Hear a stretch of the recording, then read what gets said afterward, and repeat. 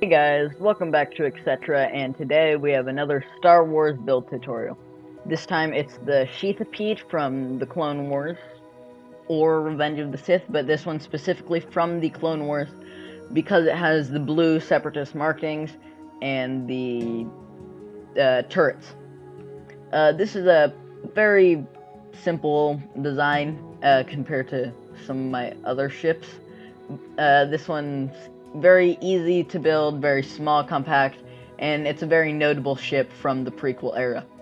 And uh, the materials that you will need to build this ship will be not too many, surprisingly. Light gray concrete, gray concrete, blue concrete, white concrete, some iron bars, and gray stained glass. And yeah, that's about it. Let's get into it.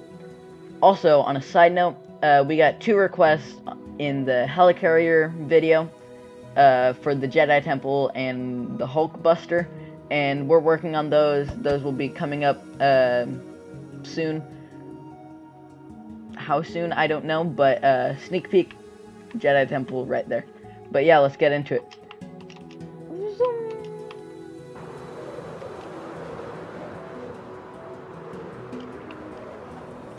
So, to start off with the front, we'll be basically making this U shape, like so. Yep. And then U shape. Wait a minute. That's not correct. U shape. Uh. Wait. Uh, I see.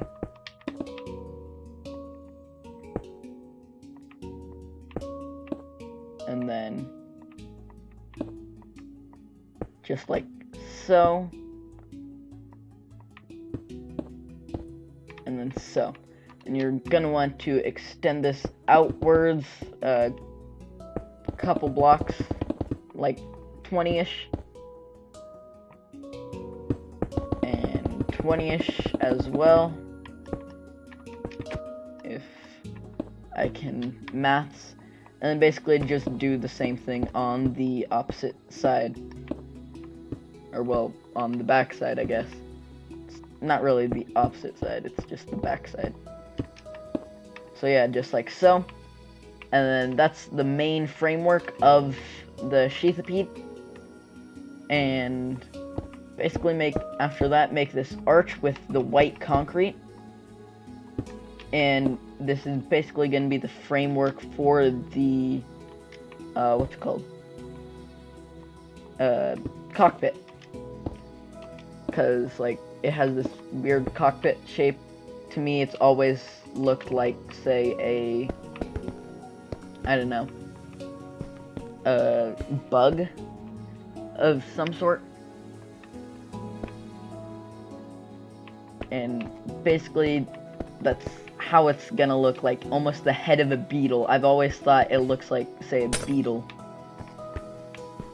And that's what the cockpit looks like the head of it because it has those legs as landing gear and I've never liked it too much but yeah so the cockpit just like so and then to get the main framework of the body or the underside I guess will be here. And then you'll want to go all the way down. All the way down to the white concrete. And once more outwards. Because it has like a semi steep slope, I guess. No, it has a semi-shallow slope. Steep is when it's like super going down. And after that, do it once more, but diagonally downwards. Actually, no, this is supposed to be two down, while this will be down, and then this will be three down. Like so. Yes, like so. So after that, you're gonna want to mirror it on the other side. Uh, right here. And bring that all the way down. Do the same thing here.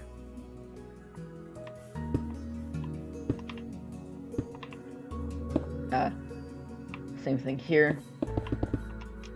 I said the same thing here. Bring that downwards.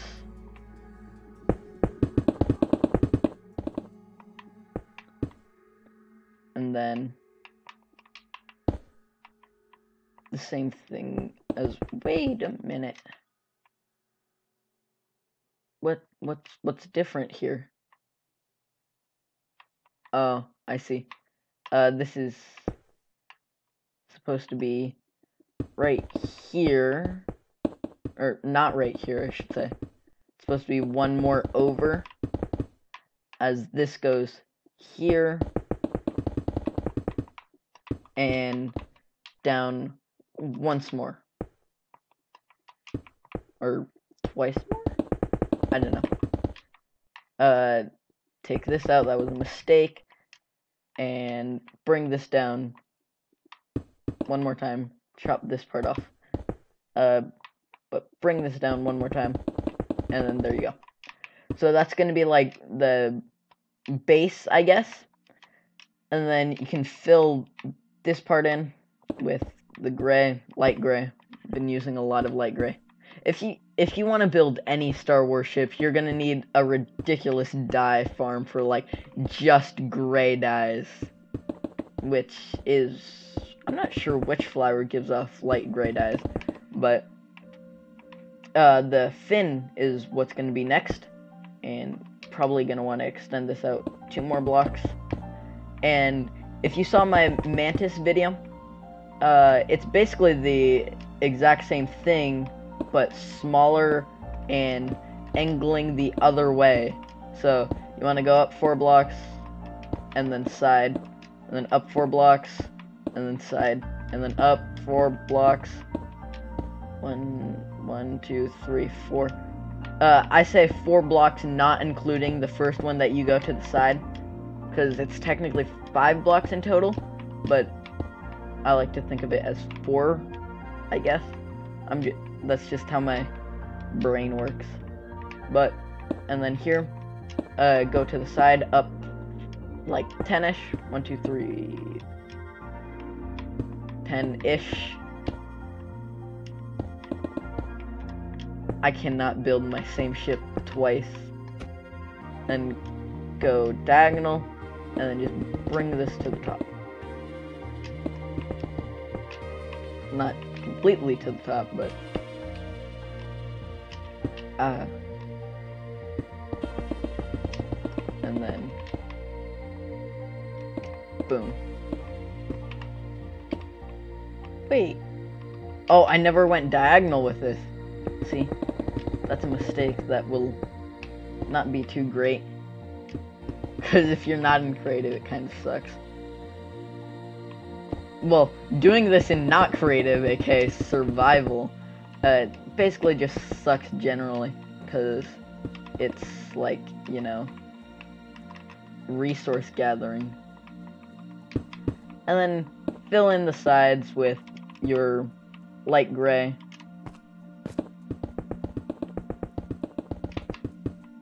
Like gray and don't fill in the further protrusion I guess is what you can call it because uh that's just meant to be like the front part, I guess. If you see a picture, it only angles the front part, not the rest of the fin. I mean, that's what it looks like to me, not the rest. And after that, uh, you're to want to do, as you see here, uh, fill in both sides on either side, like so to make it give it some volume or definition so it doesn't look like a pizza slice. That that was a really bad example. A piece of paper, that's a better example. A piece of that was dumb. because when it's one block thin, it looks really flimsy. So, yeah, give it some volume definition. And then basically fill in the sides here and here. If you're not a fan of uh, this whole gray scheme, I guess, as you can call it, uh, then you shouldn't be building Star Wars ships. Because it does look extremely bland, and then when you add highlights, it gives it some color, but it's still pretty bland. But that's how Star Wars ships just kind of are. I mean, you don't want to be giving your, uh, what's it called, position to the enemy. You, you, you kind of just don't want to do that. And then fill this in. And yes. After that, you're going to want to size it up, I guess. Looks pretty good. But after that, I'm gonna go on here, the right side, and then basically punch it up, punch it up, punch it out, go diagonal, and then diagonal once more, and then here. You're gonna want to make it too wide, not that, too wide, too wide, and then basically fill that with your blue concrete, the separatist color. So just like so. So. And then do the same thing on the other side. Because this is kind of like the design that the fin has. Ah. No, that's supposed to be there. And then bring this downwards and try not to punch out the other side. And bring this downwards, and yes. So this is the more prominent design. There is a secondary design that goes like diagonal um to a certain extent like above this but there's not really enough space on the fin to make it look decent.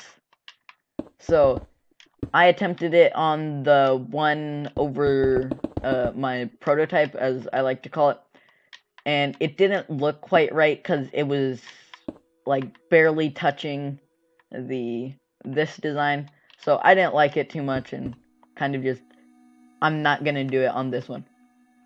Uh, what you could also do is in the center here, do blue concrete. It gives it some, like, actual color, but, yeah, it, it's not exact, but it looks better, I guess. And then up here, you're going to want to extend this, uh, I guess, the turret, and put some iron bars, because it serves as the turret try and line it up. And yeah, this looks really wonky, but it, that's how it is. It has that mega fin on top. It may seem a little tall, but it probably is a little tall, but uh, one thing that you want to do next is either blue or white concrete.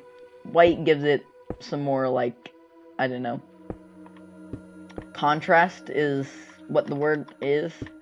Uh, with the black, uh, not black, gray concrete, but basically make a little bit of an arch, basically a smaller version of that one over there, uh, on the back of the fin here, just like so, and then use your gray concrete and then make that a wee bit bigger, because in the center section, it has this, I don't know, ridge is what I'm gonna call it of gray concrete. It's a bit darker than the rest of the body of the shuttle. And yeah. After that, or once you get done with that, extend the blocks out here. Blocks out here. Uh, put say two there, or actually no. And then there. A little piece of iron bar as a turret because it kind of has that on the side. Has that on the side. And then same thing over here, but I'm not going to do it for the sake of time. After that, uh, you're to want to fill in the cockpit because you kind of need somewhere to, like, drive the shuttle and stand and, you know, operate it. Pretty self-explanatory. But do that and then give it somewhat of a floor. You can always make an entrance at the back, like it has, say, in the Clone Wars or in the whole franchise, where you can enter the shuttle. But right now, I don't have that because I kind of suck at interior designing and it's really hard to give anything any sort of detail, especially Star Wars futuristic detail in Minecraft. Because, like, to make, say, those charging ports for the droids, it's like, uh, really challenging. But yeah, after that, like, ooh, that does not look too, uh, good. Extend this out a bit, and then make it look like it's somewhat supporting the top here. And then, yeah, you're done. That's the Sheathipede. It's a pretty bland design. Oh, you know what I forgot? Uh, was to extend this out with the light gray. But, uh, for the sake, or, you know what? We can do it here. And you would want to extend that out one more block. And then put blue highlights here, here, and here. Or actually here, here, here and light gray. No. No. Light gray. That's why it looks very bland. The blue highlights this whole thing looks very monochrome. But yeah, that's the Sheathipede. And it's pretty simple to build. It's a lot simpler than many of the other Star Wars ships that I have built in the past, in my opinion. And yeah, hope you enjoyed uh, this uh, Star Wars build tutorial. Uh, if you liked it, if you found this video helpful, um, leave a like, subscribe, comment down below which Star Wars ship or even Marvel ship you would like to see next. Uh, thanks for watching and goodbye.